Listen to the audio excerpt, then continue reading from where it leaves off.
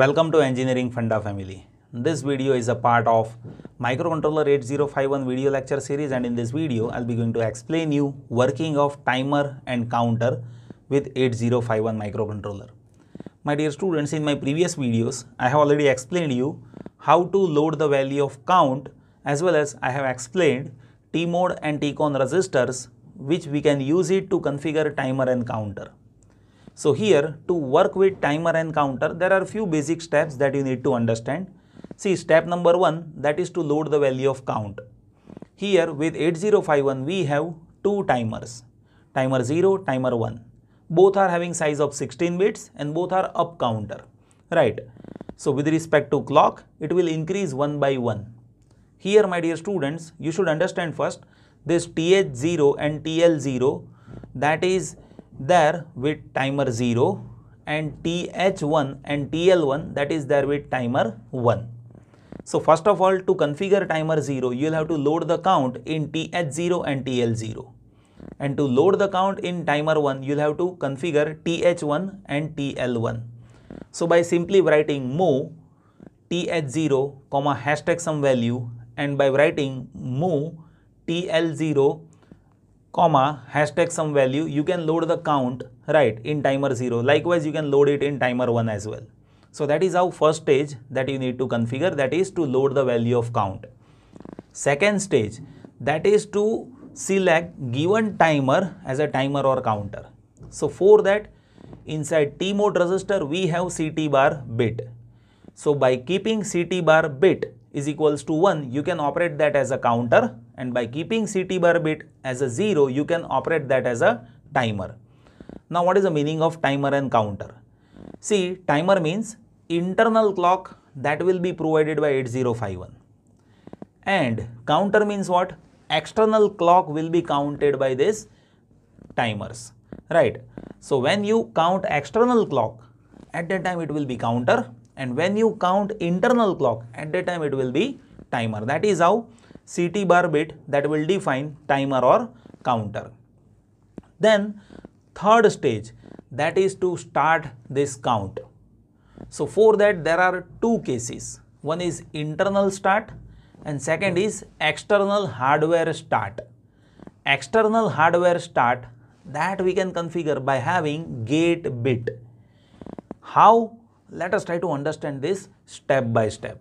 So my dear students, as I have told you, we need to configure TCON and TMOD register and here we have CT bar bit, you see, by keeping this bit is equals to 0, you will be operating this as timer and by keeping this bit is equals to 1, you will be operating this as counter. So as if you keep this bit as 0, you will be operating this as timer. In that case, internal clock will be provided by 8051 and resultant clock that will be oscillator frequency divided by 12. When you operate it as counter, at that time you will have to keep this bit as 1. So in that case, external clock will be given on T0 or T1 pin based on which timer that we select. For timer 0, T0 pin is there. For timer 1, T1 pin is there. So that is how we select timer and counter. For that you need to keep this CT bar bit which is there inside T mode register. Based on 0 you can select that as timer. Based on 1 you can select that as a counter which explains you whether you take clock signal from external pin or internal clock oscillator frequency signal right. So here my dear students 8051 is having two 16 bits of timers. Those are working as up counters. Here by CT bar, we select that as a timer or counter. In case of timer, we provide internal clock. In case of counter, we give external clock on T0 or T1 pin of 8051. Based on which timer that you select, you will have to give signal on respected pin. Here, my dear students, now I'll explain you how we can start the value of count.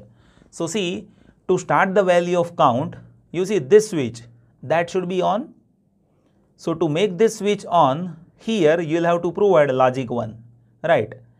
So to provide a logic 1 over here, you will have to see this is AND gate and with this AND gate, you see one input is TR0 or TR1.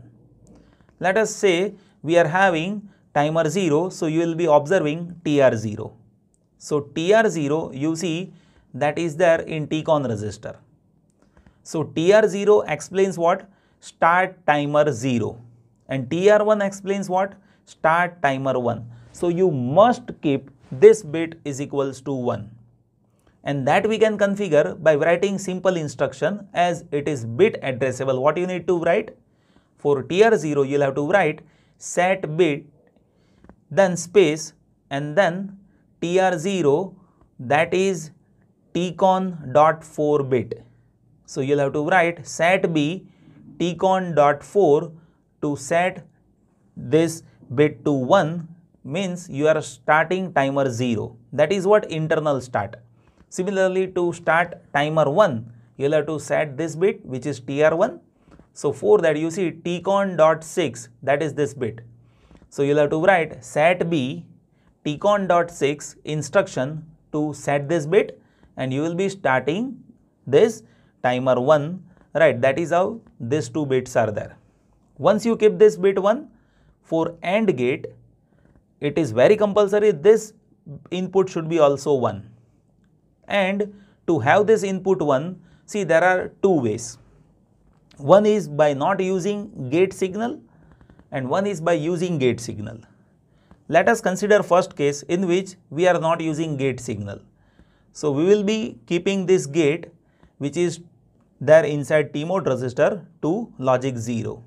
So when you keep this gate is equals to logic 0 after inverter it will be 1. So it will gives 1 over here irrespective to this INTX signal.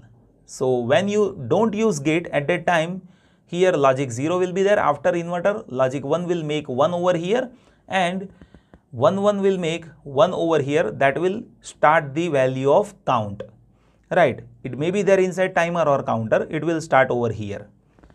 But here my dear students let us consider second case. In that we will be using gate. So to use gate you see with timer 0 timer 1 these two bits are there. We will have to provide logic 1 with this bit. So when you provide logic 1, what you will be doing is, you will be providing start operation by using interrupt. INTX is written. So INT0 that is there for timer 0 and INT1 that is there for timer 1. You see how? When gate is 1, after inverter it will be logic 0 here so it is very compulsory that you will have to provide logic 1 to have 1 over here, right. So when you keep this gate is equals to logic 0, at that time INTX that is not required, but when you keep this gate as logic 1, at that time INTX that should be 1 to have start count by keeping this 1 over here, right. So here my dear students, when you use gate as logic 1, at that time you will be compromising external hardware interrupt. How? The reason is you will have to use now this interrupt to start the value of count. That is how it is there. So here my dear students, to have running counter, first of all you will have to make this TR bit to 1. After that you will have to see whether you want to use gate or not. As if you are using gate, then you'll have to keep this bit is equals to 1 inside TMOD. After that, you'll have to give start count operation on INTX terminal. For timer 0, INT 0 will be there. For timer 1, INT 1 will be there.